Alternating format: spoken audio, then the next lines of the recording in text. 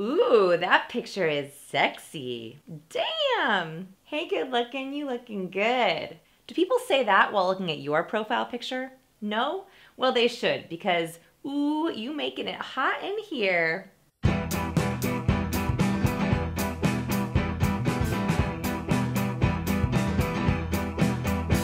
Admit it, you spend tons of time shooting, prepping, lighting, and posing for the perfect profile picture. And it's hard. What should you do?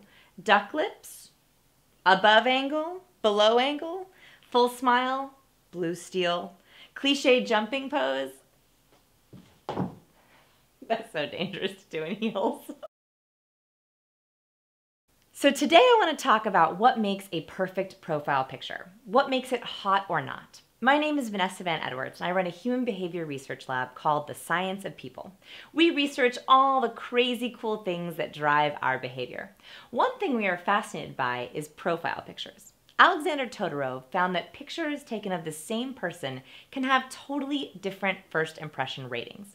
In his lab, he took slightly different pictures of the same person and asked participants to rate them on characteristics like trustworthiness, intelligence, and attractiveness.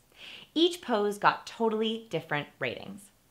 This proves that how you take a picture does change people's perceptions of you. Which picture do you think is better, A or B? Watch on to find out. My research partner Jose Pina and I devised an experiment. We analyzed over 400 randomly selected photos of men and women from the website Hot or Not. Each of these have a hot or not numerical rating. We wanted to see what the difference was between the hottest posers and the nottest posers. Here's what we found. Number one, skin or no skin. Are you ready for this? Even though men get a bad rap for wanting to see skin, women actually were more interested in men who showed off. Cleavage, short skirts, lots of skin did not make a difference between low and high ranking women. However, men really benefited from showing off their goods. High ranking men tended to show off their chest and were shirtless more often than low ranking men. You got it, flaunt it. Number two, don't hide. Want to show you're available and open to a relationship? Then be open and show yourself. Photos with hats and glasses were a total buzzkill for the hot factor. Sunglasses were especially detrimental. This is most likely because we use eye gaze to build connection. When raters can't see eyes, they feel the poser might be distant or standoffish, and no one wants that in a partner. Funny note, while hats and glasses weren't great, headphones seemed to make no difference at all. Number three, front me. Ever wonder how you should face the camera?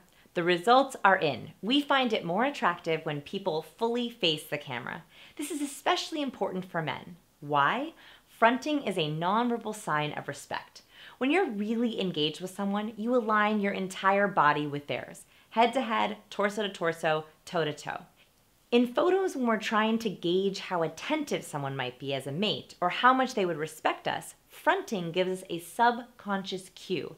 Without realizing it, we think people who angle towards the camera are also angling towards us. This makes us see them as more in tune with us.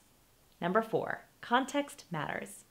Think your hotness is only about you? Think again. The hottest photos also tended to have some kind of a background story. Hiking, beach trips, travel, cooking, driving, photos that included some kind of activity added to the hotness of both men and women. We also counted what we call trophies. These are objects that people put on display in a photo in addition to themselves. The most common ones for men were guitars, cars, motorcycles, and guns. Although none of these impacted hotness scores, sorry guys, not all women are impressed by a guitar. Number five, to smile or not to smile. The biggest question we get around profile pictures is to smile or not. The answer might surprise you. For women, closed mouth smiles were the worst. The most low ranking women used the closed mouth smile. High ranking women had either a full smile or a neutral face. So if you're gonna smile, go big. For men, surprisingly, neutral faces tended to do best. High ranking men had serious or still faces often looking off into the sunset, and those seemed to do better than low ranking men who smiled wide. Number six, get handsy. Ever wondered if you should show your hands in your picture? If you're a woman, the answer is yes. Half of the high ranking women had their hands visible in their photo, while only a third of the low ranking women did. Hands are our nonverbal trust indicators. It seems that when men were rating women on attractiveness, they also factor in trustworthiness, and visible hands is a positive indicator of that. Number seven, the Monroe gaze.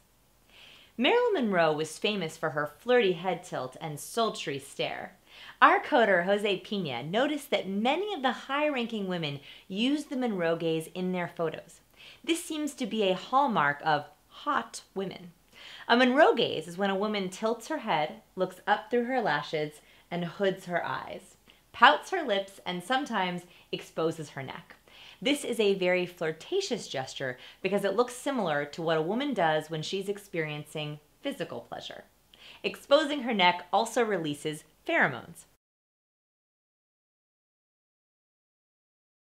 If you want to see a funny example of this, go check out pictures or YouTube clips of Lola Bunny and Jessica Rabbit.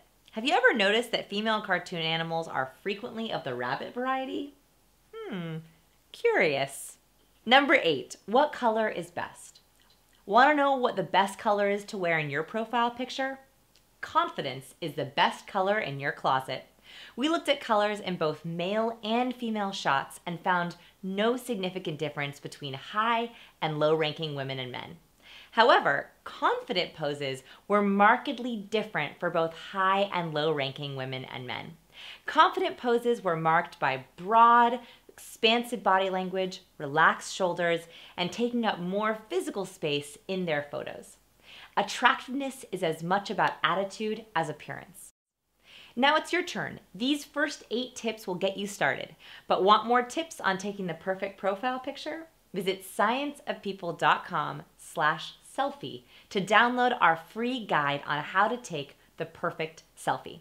Can't wait to see yours.